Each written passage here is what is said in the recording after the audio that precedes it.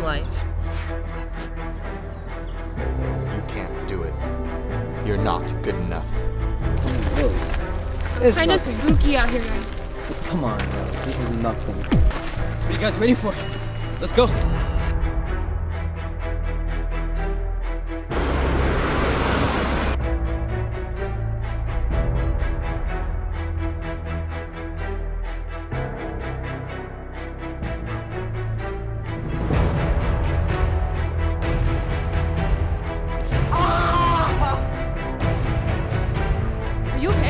No, I'm not okay.